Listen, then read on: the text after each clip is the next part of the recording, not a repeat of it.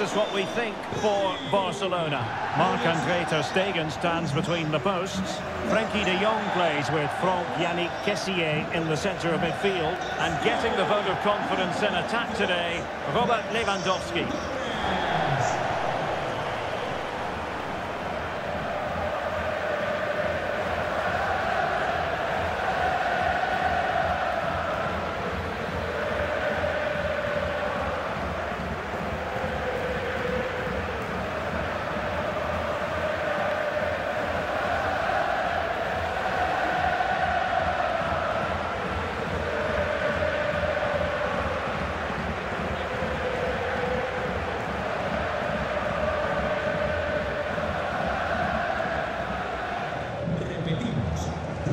Pedri.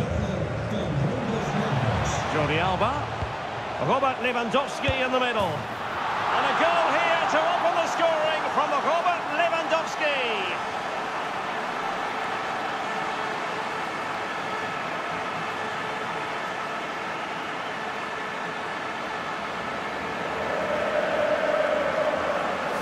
Well, let's take another look now, and it's a superb cross by Jordi Alba. But should the keeper be beaten at his near post? I don't think so. He really needs to do better in those situations.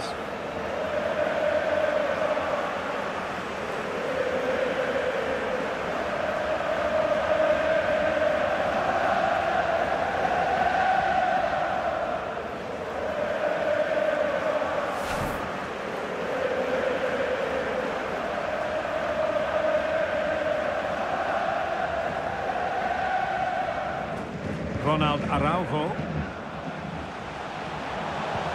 Useful looking ball. And a goal. It was served up on a silver platter for him.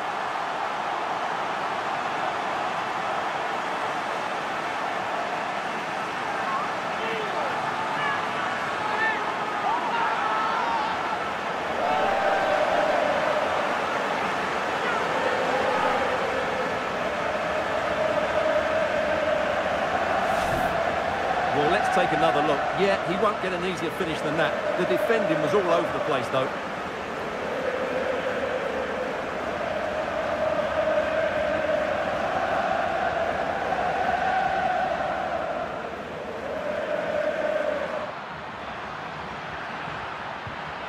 Chance to reduce the arrears. And there is the goal. Well, that changes the equation. And they have the momentum now.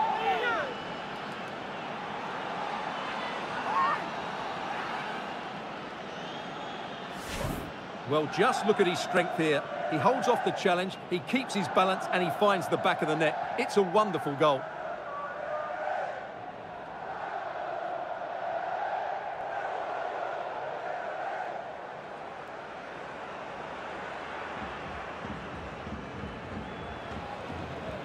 Now, counter-attacking possibilities here.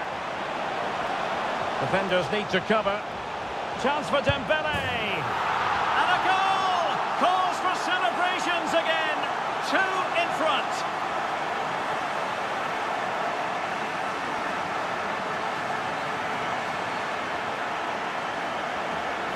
Well, let's look at this again, Derek, because the transition when the ball changes hands is so quick. But the keeper should do better at his near post. That's gone in far too easily. That's not good goalkeeping.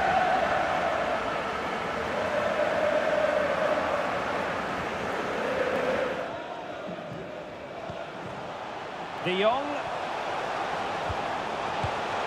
Oh, he's done it! But hang on, offside is the verdict here. It's not going to stand. Well, you can tell he thought he was onside here, but the assistant, I think, got it absolutely right.